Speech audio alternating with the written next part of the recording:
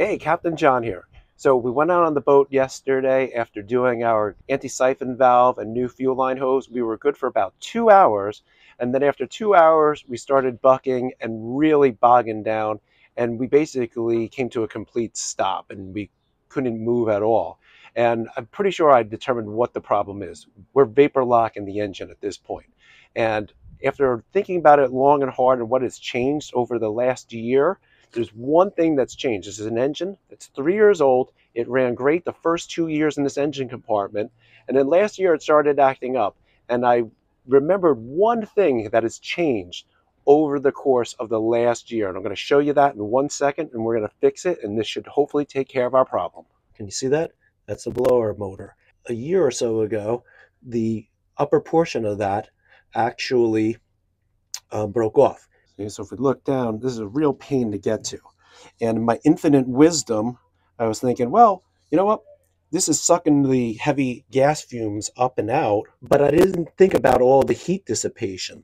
And that is the only thing that has changed. And the more I think about it, this is going to be the issue.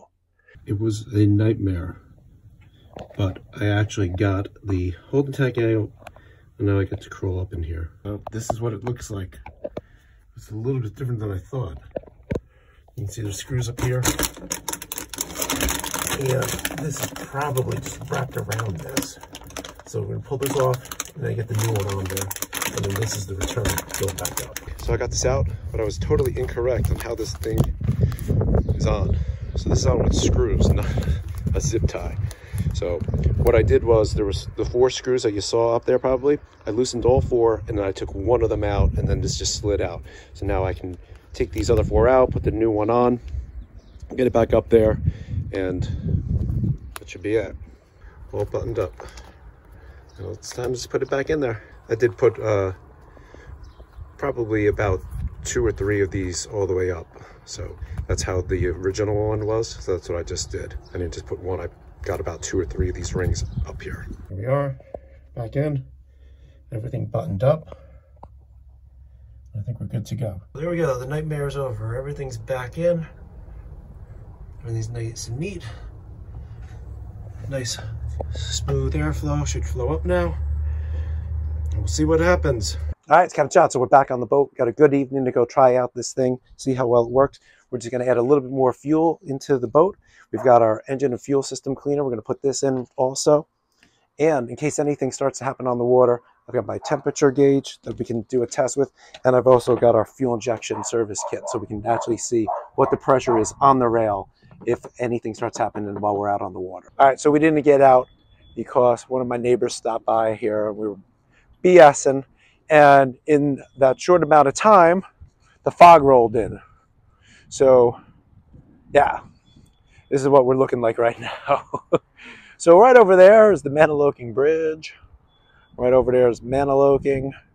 And yeah, the fog just totally rolled in within the last 15 minutes. All right, another successful boat ride. We were out there running the engine easily for three plus hours. All different kinds of conditions through the no wake zones, opening it up, and everything ran great. So let's now check out the vents and see what kind of heat we're putting out of the back of this boat now that the blower motor is working optimally. So 107, 108 coming out over here.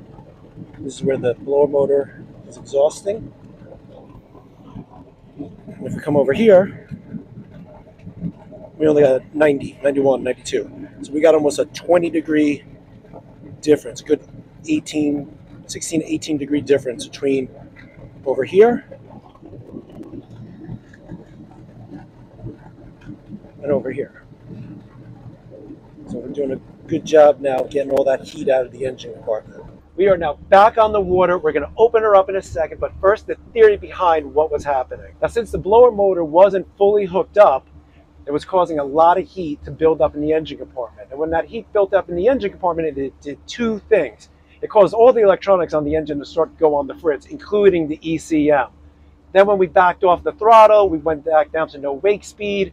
That caused the engine to vapor lock. So let's get out there, let's gun this thing out on the river and see what happens. Okay, here we go. Got 900 RPM. We're just coasting. Let's open her up and see what she does.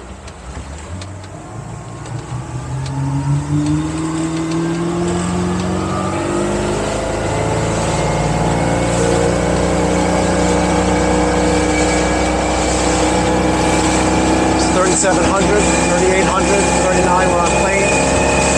21 miles an hour. Trim it up a little bit. 27. 29 and a half. 4,400 RPM. That's full throttle. 47, 48. Running 33, 34 miles an hour. 4,700 RPM. Almost 34 miles an hour. Pivot it a little bit more. Here we go.